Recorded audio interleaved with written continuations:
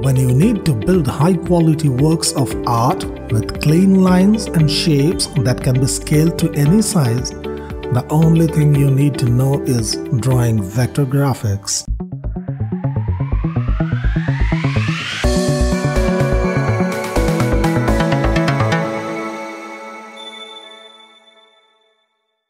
Hi there, this is Roy welcomes you to the second part of Vector Portrait Illustration tutorial. If you are new to this channel, welcome to the creative world. Last week, we created the outlines and base of the vector portrait. Those who have not seen the part 1, there is a card popping up now on the top right corner as well as link in the description. You can pause this video and go back and check the part 1 to understand this one better. In this video, we are going to do base coloring and shading for eyes, lips and ornaments. This video is also going to be a longer one, so have patience and follow the steps. Let's unlock the outline layer and create a duplicate. Lock the upper layer as a backup copy and select the below layer. Then select the rectangle tool and draw a rectangle covering entire outline drawing. Give any bright color into it, I choose this one, then send the rectangle entity to the back. Hide upper layers to work comfortably in this layer. Now select everything by pressing Ctrl A and press Divide in Pathfinder panel. Then go to Object and then Ungroup. Now delete outer part that are not included in the main vector entity. Then start coloring each area. Please watch carefully how I take the sample color from the original photo.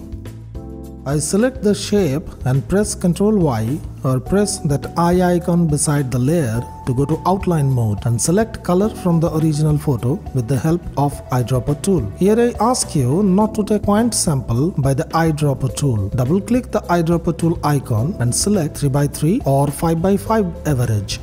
I select 3x3 and pick the color from the original photo.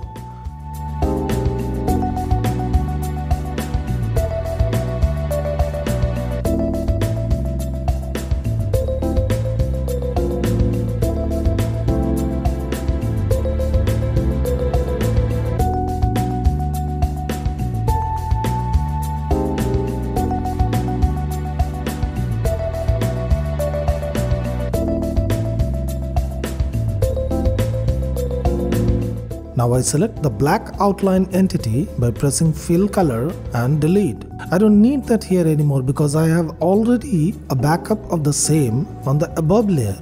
Now I select only the skin tone, create a blank layer below this one and move the skin tone entity to that layer and rename it as skin. So the above layer will have only eyes, lips and ornaments. I rename it as others. Now I open a new document with the original photo and place it in the left corner as you can see for my reference. Hide the layer named others and draw everything on the new layers above it for shading and highlighting.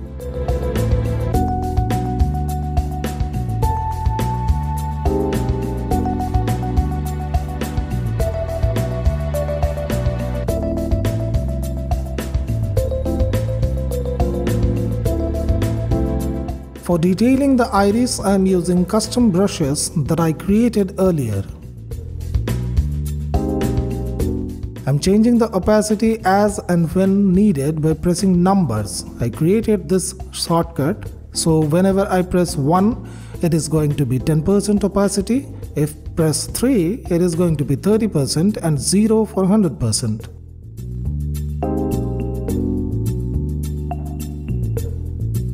I'm pressing B for brush tool, N for pencil tool and X to toggle fill to stroke or stroke to fill as I need. I'm choosing darker color for the shadow and brighter colors for the highlights but maintaining the hue.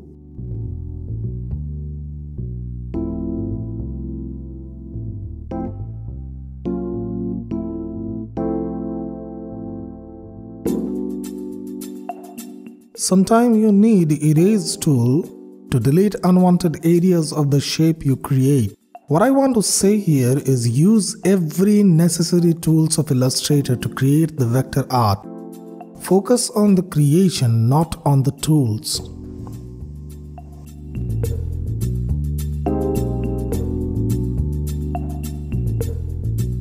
I'll do the detailing of the other eye following the same process.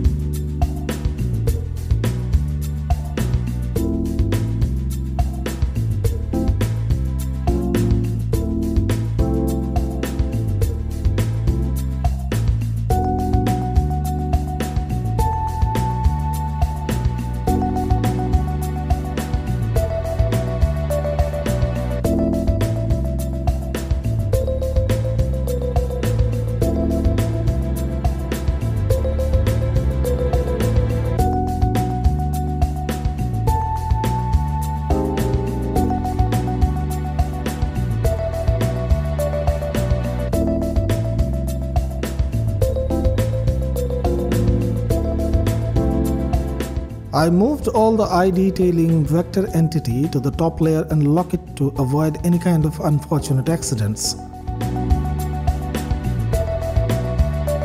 Again I will start detailing just above the layer named others. First I take the sample color from the layer named others and then I am looking at the separately opened reference photo and trying to mimic the shadows and highlights.